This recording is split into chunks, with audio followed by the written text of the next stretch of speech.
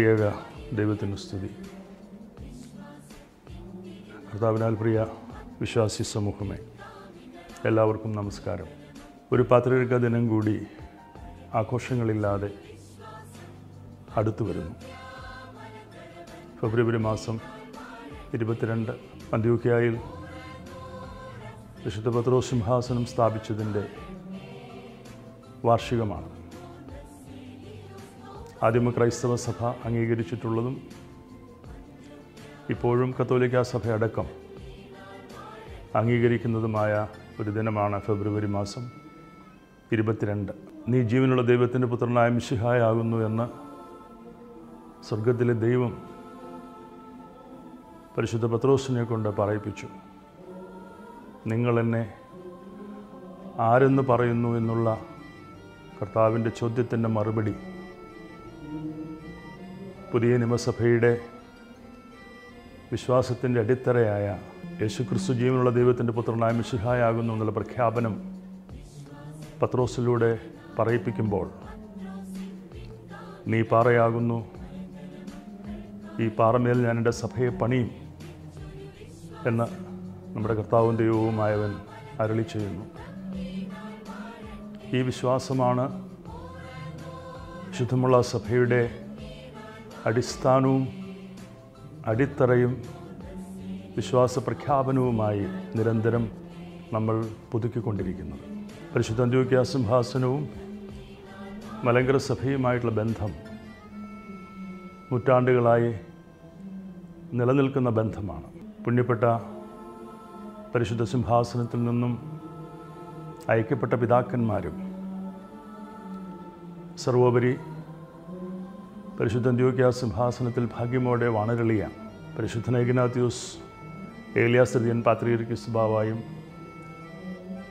മലങ്കരയിലേക്ക് എഴുന്നള്ളി വന്നത് പൗരാണികമായ ഈ പരിശുദ്ധ സഭയുടെ പുണ്യപുരാതനമായ പരിശുദ്ധൻ അന്ത്യോക്യ സിംഹാസനവും മലങ്കര സഭയും തമ്മിലുള്ളതായ ബന്ധത്തെ കൂടുതൽ ദൃഢപ്പെടുത്തുന്നതിന് വേണ്ടിയാണ്. അതേസമയം തന്നെ കലുഷിതവും പ്രശ്നസങ്കീർണവും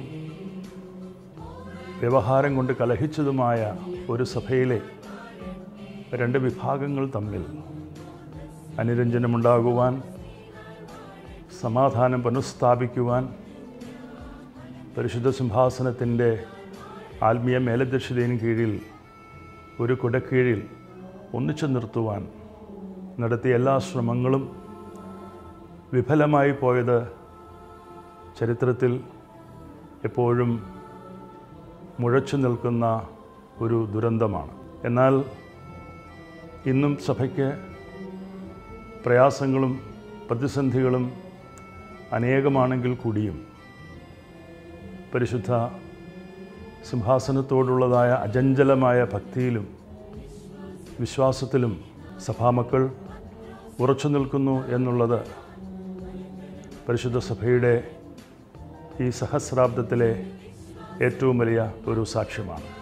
എല്ലാ വർഷവും ഫെബ്രുവരി മാസം മഞ്ഞിനിക്കരയുടെ അധിപതിയായ പരിശുദ്ധ മോറാന്റെ കബറിങ്കിലേക്കുള്ള തീർത്ഥാടനം ഒരർത്ഥത്തിൽ സുറിയാനി സഭയുടെ ഒരു പത്രിക ദിനത്തിന്റെ ഒത്തുചേരലും പത്രിക ദിനമെന്ന പോലെ തന്നെ പരിശുദ്ധ മൊറാന്റെ ദുഃഖ്രോന് പെരുന്നാളിൽ ആ പരിശുദ്ധ പിതാവിലൂടെ കൈമാറിത്തന്ന വിശ്വാസ പൈതൃകം ഉറക്കെ പ്രഖ്യാപിക്കുകയും അതിൽ തന്നെ അചഞ്ചലമായി നിലകൊള്ളുമെന്നുള്ളതിന്റെ സാക്ഷ്യപ്പെടുത്തലും കൂടിയാണ്.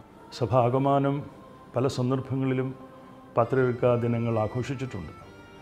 അതെല്ലാം വിശ്വാസി സമൂഹത്തെ കൂടുതൽ ബലപ്പെടുത്തുവാനും പുതിയ തലമുറയ്ക്ക് സഭാ വിശ്വാസത്തിൽ ആഴത്തിൽ വേരോടി സഭയോട് ചേർന്ന് നിൽക്കുവാൻ അത് പ്രയോജനപ്പെട്ടിട്ടുമുണ്ട്. ഇപ്പോഴത്തെ പ്രതികൂല സാഹചര്യം ഒത്തുചേരലിനും കൂടിയവരവുകൾക്കും ഒക്കെ നിയന്ത്രണങ്ങളാണ്.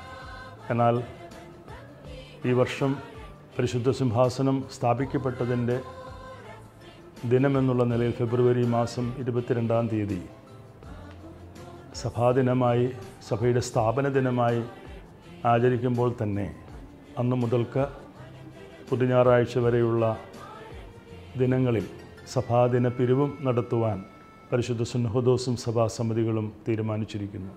ദൈവമക്കളുടെ സമ്പൂർണമായ സഹകരണം ഇതിൽ ആവശ്യമാണ്. ലോകത്തിന്റെ നാനാഭാഗങ്ങളിലും നമ്മുടെ വിശ്വാസി സമൂഹമുണ്ട്. കഴിഞ്ഞ രണ്ട് മൂന്ന് വർഷം അങ്ങനെയുള്ള സഭാതലത്തിലുള്ള പിരിവുകൾ ഒന്നും നടന്നിട്ടില്ല. ആ സാഹചര്യം കണക്കിലെടുത്തും സാമ്പത്തികമായ പ്രയാസങ്ങൾ അനുഭവിക്കുന്ന ധാരാളം ആളുകളുണ്ട്. സഭ സമൂഹത്തിൽ എങ്ങനെയായിരിക്കണമെന്നുള്ളതും ഒരു സാക്ഷ്യമായി തരേണ്ടുന്നതാണ്. നമ്മുടെ സഭയിലെ ഭദ്രാസനങ്ങളും ഇടവകകളും മറ്റേതൊരു കാലത്തെക്കാട്ടിൽ കൂടുതലായി സാമൂഹിക പ്രതിബദ്ധതയോടുകൂടി ജീവകാരുണ്യ പ്രവർത്തനങ്ങൾക്ക് ശക്തമായ നേതൃത്വമാണ് കൊടുക്കുന്നത്. ദൈവാലയത്തിന്റെ വരുമാനത്തിന്റെ ഒരു ശതമാനം പത്ത് ശതമാനത്തിൽ കുറയാതെ ജീവകാരുണ്യ പ്രവർത്തനങ്ങൾക്ക് വേണ്ടി മാറ്റിവെക്കണമെന്നുള്ള തീരുമാനം നടപ്പാക്കിയിട്ടുള്ള അനേകം ദേവാലയങ്ങളുണ്ട്. നമ്മുടെ സഭയിലെ ഭക്തസംഘടനകൾ സമാജം സൺഡേ സ്കൂൾ യൂത്ത് അസോസിയേഷൻ കുടുംബ യൂണിറ്റുകൾ തുടങ്ങി എല്ലാ ഭക്തസംഘടനകളും ജീവകാരുണ്യ പ്രവർത്തനങ്ങൾക്കും സാമൂഹ്യക്ഷേമ പ്രവർത്തനങ്ങൾക്കും സമൂഹത്തിന്റെ പൊതുവായ ഉത്ഥാനത്തിന് വേണ്ടിയുള്ള കർമ്മങ്ങളിലുമൊക്കെ ഏർപ്പെട്ട് സജീവമായ നേതൃത്വം കൊടുക്കുന്നത് സഭയ്ക്ക് വലിയ അലങ്കാരവും അഭിമാനവുമാണ്. വ്യവഹാരത്തിന്റെ നാൾ വഴികൾ ഒരു നൂറ് വർഷം പിന്നിടുമ്പോഴും എത്രയോ വലിയ കാര്യങ്ങൾ ചെയ്യാമായിരുന്ന ധനമാണ് വ്യവഹാരത്തിന് വേണ്ടി ചെലവഴിക്കുന്നു ചെലവഴിച്ചിട്ടുള്ളതും ഇപ്പോഴും ചെലവഴിച്ചുകൊണ്ടിരിക്കുന്നതും. നമ്മെ വ്യവഹാരത്തിൽ ഇല്ലാതാക്കുന്നതിന് വേണ്ടിയുള്ള ശ്രമമാണല്ലോ നമ്മുടെ സഹോദരങ്ങളായ മറുവിഭാഗം ചെയ്തുകൊണ്ടിരിക്കുന്നത്. ആയിരത്തി തൊള്ളായിരത്തി പന്ത്രണ്ടിൽ സ്ഥാപിച്ച നൂതന സിംഹാസനം. ആയിരത്തി തൊള്ളായിരത്തി പന്ത്രണ്ട് മുതൽക്ക് പ്രഖ്യാപിച്ചിട്ടുള്ളതായ സ്വതന്ത്ര സഭ. അതിനുശേഷം ആയിരത്തി തൊള്ളായിരത്തി മുപ്പത്തിനാലിലെ അൺരജിസ്റ്റേർഡായ ഡോക്യുമെൻസിന്റെ പശ്ചാത്തലത്തിൽ അതിനുശേഷം എഴുപതുകളിൽ ശക്തിപ്പെട്ട സിംഹാസനവാദം. ഇതൊക്കെ തന്നെയാണ് സഭയുടെ പൈതൃകത്തിൽ നിന്നും വിശ്വാസത്തിൽ നിന്നും സ്വയം മാറിപ്പോയി എങ്കിൽ കൂടിയും സഭയുടെ പൈതൃകത്തിൽ സഭയുടെ വിശ്വാസത്തിന്റെ അടിത്തറയിൽ സ്ഥാപിതമായ എല്ലാ ദൈവാലയങ്ങൾക്കും ഒരു സ്ഥാപന ഉദ്ദേശമുണ്ട്. ഓരോ ദൈവാലയങ്ങൾക്കും ഉടമ്പടികളുണ്ട്. ഓരോ ദൈവാലയങ്ങൾക്കും രജിസ്റ്റേർഡ് ഡോക്യുമെൻസ് ഉണ്ട്. ഇടവകകൾ ദൈവാലയങ്ങൾ അത് പണിതിട്ടുള്ളത് അവിടുത്തെ വിശ്വാസി സമൂഹമാണ്. ഒരു സഭാ നേതൃത്വത്തിൽ നിന്നോ അല്ലെങ്കിൽ സഭയുടെ കേന്ദ്രത്തിൽ നിന്നോ ഫണ്ട് കൊടുത്ത് ഒരു ദേവാലയം പണിതിട്ടില്ല. ഈ ദേവാലയങ്ങൾക്കെല്ലാം നൂറ്റാണ്ടുകൾ പഴക്കമുണ്ട്. ഒന്നോ രണ്ടോ മൂന്നോ കുടുംബങ്ങൾ അല്ലെങ്കിൽ പത്തോ പതിനഞ്ചോ കുടുംബങ്ങൾ മറുവിഭാഗത്തിനുണ്ടെന്ന് കരുതി അങ്ങനെയൊരു അൺരജിസ്റ്റേർഡ് ഡോക്യുമെന്റിന്റെ പശ്ചാത്തലത്തിൽ കോടതി വിധികളിലൂടെ സമ്പാദിച്ച അവർക്ക് അനുകൂലമായിട്ടുള്ള വിധികൾ നടപ്പാക്കുമ്പോൾ ഈ കേരള സംസ്ഥാനത്ത് അരങ്ങേറിയിരിക്കുന്ന ഏറ്റവും വേദനാജനകമായ നീതി നിഷേധം കേരളത്തിലെ പൊതുസമൂഹവും ബോധ്യപ്പെട്ടിട്ടുള്ളതാണ്. കോടതികൾ രേഖകളുടെ അടിസ്ഥാനത്തിൽ വിധികൾ പറയുമ്പോൾ പലപ്പോഴും സത്യം തമസ്കരിക്കപ്പെടുന്നു ജനാധിപത്യം ധ്വംസിക്കപ്പെടുന്നു നീതി നിഷേധിക്കപ്പെടുന്നു എന്നുള്ളത് നമുക്ക് ബോധ്യപ്പെട്ടിട്ടുള്ള കാര്യമാണ്. മൃതരുടെ ശവശരീരം മൃതശരീരം സംസ്കരിക്കുന്നതിന് പോലും തടസ്സം നിന്ന അനേകം സംഭവങ്ങൾ. മാസങ്ങളോളം അന്ത്യ അഭിലാഷം ഭർത്താവിന്റെ കബരങ്കൽ കല്ലറയിൽ സംസ്കരിക്കണമെന്നുള്ള വർദ്ധക്യത്തിലെത്തിയ മാതാവിന്റെ ആഗ്രഹം സാധിച്ചെടുക്കുവാൻ. മക്കൾക്ക് ഇടവകയോട് ചേർന്ന് നിന്ന് മാസങ്ങളോളം കാത്തിരിക്കേണ്ടി വന്നു. അനുബന്ധമായിട്ടുള്ള എത്രയോ നൊമ്പരപ്പെടുത്തുന്ന സംഭവ പരമ്പരകളാണ് രണ്ടായിരത്തി പതിനേഴിലെ ജൂലൈ മാസം മൂന്നാം തീയതിയിലെ വിധിക്ക് ശേഷം ഈ പരിശുദ്ധ സഭയ്ക്ക് അഭിമുഖീകരിക്കേണ്ടി വന്നിട്ടുണ്ട്. പിതാക്കന്മാർ കഴിഞ്ഞ കാലങ്ങളിൽ ഈ സഭയുടെ ആരംഭം മുതൽക്ക് വിശുദ്ധന്മാരുടെയും പുണ്യപ്പെട്ട പിതാക്കന്മാരുടെയും അവരുടെ പരിശ്രമം കൊണ്ടും കർത്താവിന്റെ വഴിയിലൂടെ നടന്ന് ആടുകൾക്ക് വേണ്ടി ജീവനെ സമർപ്പിച്ച് ഉത്തമമായ ഇടയത്വം മാതൃക കാട്ടിത്തന്ന പുണ്യപ്പെട്ട പിതാക്കന്മാർ ഏത് കാലത്തും ഈ സഭയ്ക്കുണ്ടായിട്ടുള്ള ദുരന്ത മുഖത്ത് വിശ്വാസി സമൂഹത്തോട് ചേർന്ന് നിന്നിട്ടുണ്ട്. എന്നാൽ ഈ പുതിയ സഹസ്രാബ്ദത്തിൽ ഈ പുണ്യപ്പെട്ട സഭയ്ക്ക് അഭിമുഖീകരിക്കേണ്ടി വന്നിരിക്കുന്നതായ ഈ നീതി നിഷേധം ഒരുപക്ഷെങ്കിൽ ചരിത്രത്തിൽ ആദ്യമായിട്ടായിരിക്കും.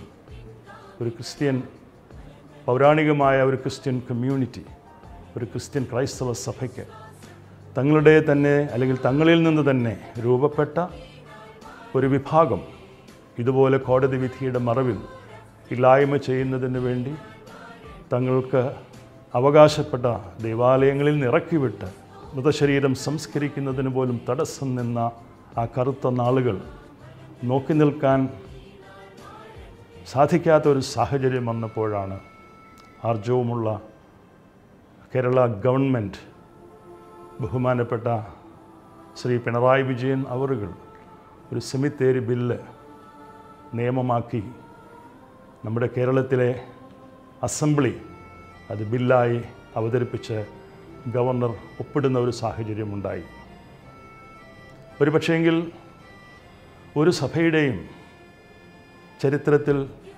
ഇതുപോലുള്ള നാൾ വഴികൾ ഉണ്ടാകണമെന്നില്ല. ഇറാഖിലും ടർക്കിയിലും സിറിയയിലും ഒക്കെ ലക്ഷങ്ങൾ കൊല ചെയ്യപ്പെട്ടിട്ടുണ്ട്. ആരാധനാലയങ്ങൾ തകർക്കപ്പെട്ടിട്ടുണ്ട്. ശൂന്യമായ മലയിടുക്കുകളിൽ കരിങ്കല്ലിന്റെ പുറത്ത് പാറയുടെ മുകളിൽ തബലീത്ത വെച്ച് ആരാധിക്കുന്ന വിഷ്വൽസൊക്കെ നമ്മൾ കണ്ടിട്ടുണ്ട്. അവിടെയൊന്നും നമ്മൾ തളർന്നു പോയിട്ടില്ല. എന്നാൽ ഇവിടെ ഒരു ജനാധിപത്യ രാജ്യത്ത് ലോകത്തിലെ ഏറ്റവും വലിയ ഒരു ജനാധിപത്യ രാജ്യമാണ്. ആയിരങ്ങളെ ഇറക്കി വിട്ടിട്ട് പത്തോ ഇരുപതോ പേർക്ക് വേണ്ടി ദേവാലയം പിടിച്ചു കൊടുക്കുക. വിശ്വാസികൾ ഇറക്കി വിട്ടിട്ട് ഒരു വിശ്വാസി പോലും ഇല്ലെങ്കിലും അത് പോലീസ് കസ്റ്റഡിയിൽ വയ്ക്കുക എന്നുള്ള വിധി പ്രസ്താവനകൾ വാസ്തവത്തിൽ ഏറെ വേദനിപ്പിക്കുന്നതാണ്. എ ഡി മുപ്പത്തിയേഴിലാണ് പരിശുദ്ധ സിംഹാസനം അന്ത്യോക്യായിൽ സ്ഥാപിതമാകുന്നത്. അതൊരു കസേരയുടെ ചരിത്രമല്ല. അതൊരു സിംഹാസനത്തിന്റെ ചരിത്രം മാത്രമല്ല. ഇത് പൗരോഹിത്യത്തിന്റെ ഉറവിടമാണ്. അത് തന്നെയാണ് ഇന്നും സത്യസ്വര്യാനി സഭ വിശ്വസിക്കുന്നതും നൂറ്റാണ്ടുകളായി വിശ്വസിച്ചു പോരുന്നതും നമ്മൾ പഠിച്ചിട്ടുള്ളതും നമ്മെ പഠിപ്പിച്ചിട്ടുള്ളതും പരിശുദ്ധനായ പരിമലയിൽ കബറടങ്ങിയിരിക്കുന്ന ചതുരത്തിൽ മോർ ഗ്രിഗോറിയോസ് തിരുമേനി. സിംഹാസനത്തെ എഴുതി കൊടുത്ത ഉടമ്പടിയിൽ അദ്ദേഹം പറഞ്ഞിട്ടുണ്ട് പരിശുദ്ധ അന്ത്യോക്യ സിംഹാസനത്തിനെതിരെ എന്ന് ഞാൻ സംസാരിക്കുന്നു. അന്ന് എന്നിൽ നിക്ഷിപ്തമായിരിക്കുന്ന പട്ടത്വത്തിന്റെ എല്ലാ അംശവസ്ത്രങ്ങളും സ്വയമേവ ഉരിയപ്പെട്ടതായിരിക്കുമെന്ന് അദ്ദേഹം എഴുതി വച്ചിരിക്കുന്നു. ഇത് തന്നെയാണ് പിതാക്കന്മാർ പഠിപ്പിക്കലുകൾ. അതുകൊണ്ട് തന്നെ ദേവാലയങ്ങൾ നഷ്ടപ്പെടുന്ന സാഹചര്യങ്ങളുണ്ടാകാം മൃതശരീരം സംസ്കരിക്കുന്നതിന് സഭയുടെ പാരമ്പര്യമനുസരിച്ച് കുഴിമാടത്തിൽ പോയി വൈദികൻ ധൂപം വെച്ച് ഓരോ ഓരോ വർഷവും അതിന്റെ അവരുടെ ഓർമ്മ ആഘോഷിക്കുമ്പോൾ കുടുംബത്തോടൊപ്പം പുരോഹിതനും വന്നു നിന്ന് പ്രാർത്ഥിച്ച് ധൂപമണയ്ക്കുക എന്നുള്ള സഭയുടെ പാരമ്പര്യമാണ്. അതൊക്കെ നഷ്ടപ്പെടുമ്പോഴും മറവിഭാഗത്തേക്ക് ചേക്കേറുവാൻ നമ്മുടെ വിശ്വാസി സമൂഹം മനസ്സ് വയ്ക്കാത്തത് മറ്റൊന്നും കൊണ്ടല്ല ആരും നിർബന്ധിച്ചിട്ടല്ല. അത് പരിശുദ്ധ പിതാക്കന്മാരിലൂടെ പഠിപ്പിച്ചതായ വിശ്വാസം ദൈവമക്കളുടെ നെഞ്ചിലേറ്റിക്കൊണ്ട് ജീവിക്കുന്നു എന്നതുകൊണ്ടാണ്. പുണ്യശ്ലോകനായ പരിശുദ്ധനായ ബാസേലിയോസ് പൗലൂസ് രണ്ടാമൻ ബാവ തൊണ്ണൂറ്റി അഞ്ച് ജൂലൈ മാസത്തിലെ കോടതി വിധിക്ക് ശേഷം വരിക്കോലി പള്ളിയിൽ വെച്ച് കൂടിയ മാനേജിംഗ് കമ്മിറ്റിയിൽ അദ്ദേഹം പറഞ്ഞ വാക്കുകൾ തങ്കലിപികളാൽ പരിശുദ്ധ സഭയുടെ ചരിത്രത്തിൽ എഴുതപ്പെട്ടിരിക്കുന്നു. മലയക്കുരിശ് ദേറായിൽ ആ പരിശുദ്ധൻ അന്ത്യവിശ്രമം കൊള്ളുന്ന ഖബറിങ്കൽ അത് ആലേഖനം ചെയ്യപ്പെട്ടിട്ടുണ്ട്. മക്കളെ അന്ത്യോക്യ സിംഹാസനത്തെ കണ്ണിലെ കൃഷ്ണപണി പോലെ കാക്കണമെന്ന്. അത് തന്നെയാണ് ഈ മക്കൾ. തലമുറയായി നിലനിർത്തുന്നതും ഈ പ്രതിസന്ധിയിലും ഇനിയും നഷ്ടങ്ങൾ മുന്നിൽ കണ്ടുകൊണ്ടാണ് സഭ ജീവിക്കുന്നത്.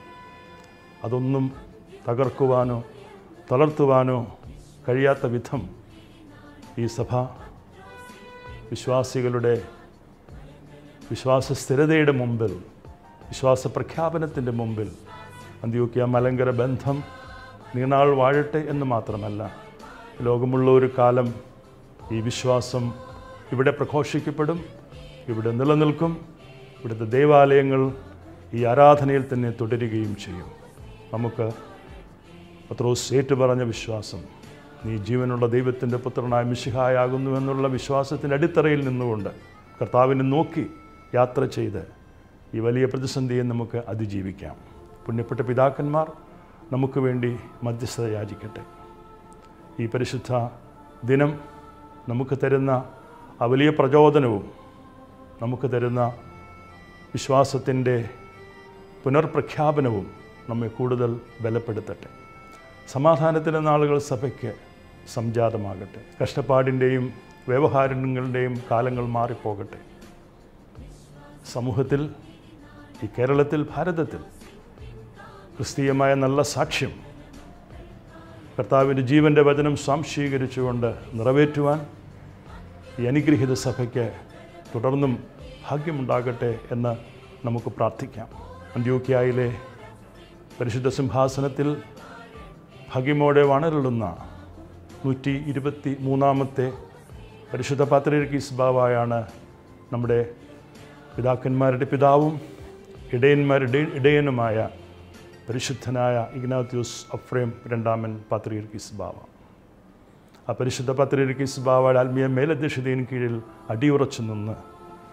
കഴിഞ്ഞ നാല് പതിറ്റാണ്ട് കാലത്തിലേറെ ഈ സഭയ്ക്ക് ഭാഗ്യമോടെയുള്ളതായ നേതൃത്വം നൽകിയ മലങ്കര സഭയുടെ യക്കോബർദോനോ എന്ന് കാലം ചെയ്ത ഇഗ്നത്യുസഖ ബാവ തിരുമേനി നാമകരണം ചെയ്ത് പ്രഖ്യാപിച്ച ശ്രേഷ്ഠനായ ബെസോലിയസ് തോമസ് പ്രഥമൻ കാതോലിക്ക ബാവായുടെ അജപാലന ദൗത്യത്തിന് കീഴിൽ ഈ പരിശുദ്ധ സഭ സഹോദര മെത്രാപോലിത്തന്മാരുടെ സഹകരണത്തോടു കൂടി സഭയുടെ ഭാരവാഹികൾ വർക്കിംഗ് കമ്മിറ്റി മാനേജിംഗ് കമ്മിറ്റി തുടങ്ങി എല്ലാവരുടെയും കൂട്ടായ ആലോചനയോടു കൂടി ബഹുമാനപ്പെട്ട വൈദികർ ആണ് ഈ സഭയുടെ ഏറ്റവും പ്രതിസന്ധി നിറഞ്ഞ ഘട്ടത്തിൽ പോരാളികളെ പോലെ ആത്മീയ പോരാട്ടം നടത്തി ആത്മീയ മക്കളെ ഈ ശുശ്രൂഷയിൽ ചേർത്ത് നിർത്തുന്നത്.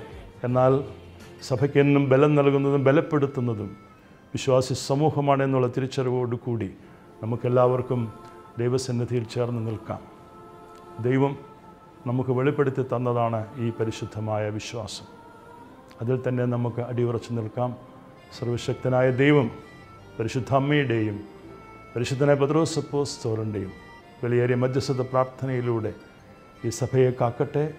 ഈ സഭയെ സംരക്ഷിക്കട്ടെ ഈ സഭയുടെ വിശ്വാസം പരിരക്ഷിക്കപ്പെടട്ടെ. ദൈവം അനുഗ്രഹിക്കട്ടെ.